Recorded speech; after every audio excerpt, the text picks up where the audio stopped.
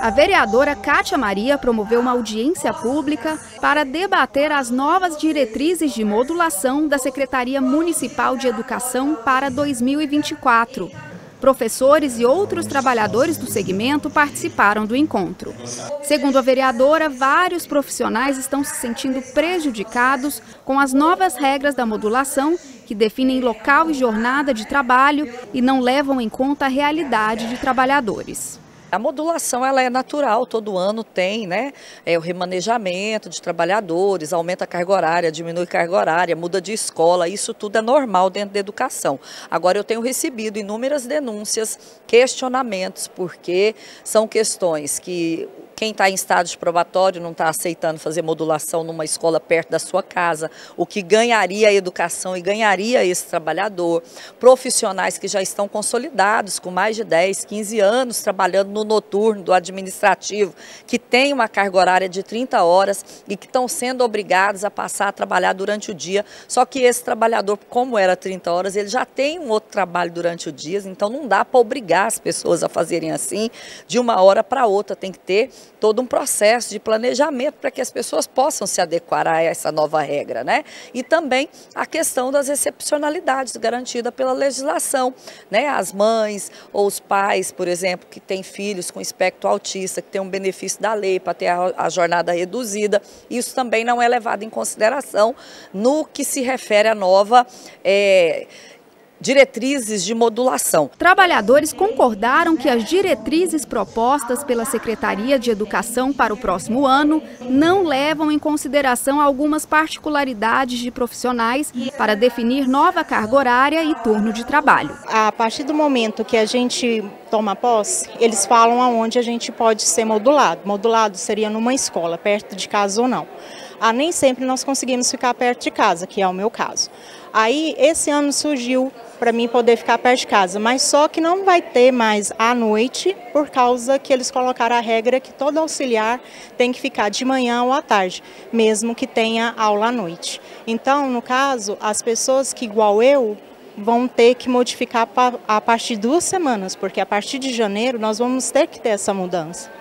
Então a gente não tem tempo hábil para fazer essas mudanças. E não precisaria, porque o noturno não vai ser fechado. A minha queixa hoje, eu já estou aqui principalmente para poder falar sobre a questão da discriminação, porque eu vejo que essa nova diretriz, ela fere o princípio da isonomia do serviço público, né, que onde que é, por eu ter filhos autistas, eu não posso determinar, modular em determinada escola, permanecer em determinada instituição ou ser modulada em determinada turma.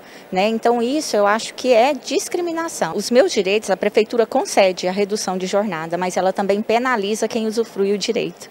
Então, a partir do momento que eu tenho direito à redução, mas eu sou penalizada por isso, como que eu sou penalizada? Eu não posso modular numa escola de tempo integral, eu não posso, se eu fosse pedagoga, eu não posso ser referência em uma turma.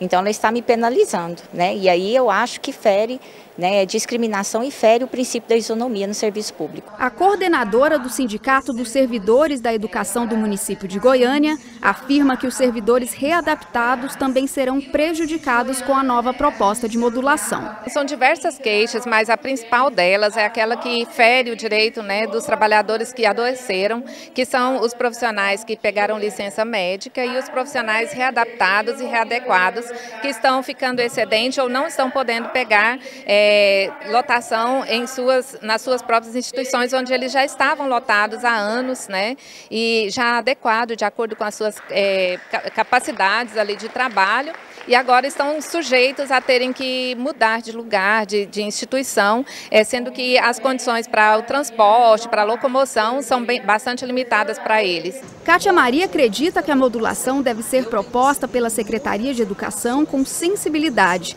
para que os profissionais da educação sejam ouvidos e tenham melhores condições de trabalho, o que pode refletir de forma positiva na qualidade do ensino nas escolas da capital.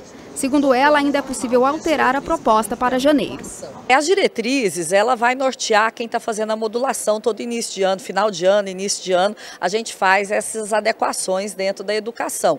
Então, a modulação, ela vai até o início de janeiro, geralmente, e nós queremos que a Secretaria de Educação tenha essa sensibilidade para promover, né, seja a justificativa que seja plausível ou que ela faça a adequação nessas diretrizes para não prejudicar e não ferir o direito desses trabalhadores também. Nós queremos que as nossas crianças, nós queremos que os nossos estudantes tenham um ensino de qualidade e isso passa por ter o profissional satisfeito também na unidade de ensino. Claro que o trabalhador ele passou no concurso público para trabalhar em qualquer unidade dentro do município, mas é inteligente você fazer isso, por exemplo, quem está no estágio probatório que tem a vaga perto da casa dele e ele não pode ir porque estão dizendo que ele está em estágio probatório. Vai economizar tempo, vai economizar dinheiro, ele vai chegar com mais disposição ao invés de ter que pegar um ônibus cheio, atravessar a cidade, etc.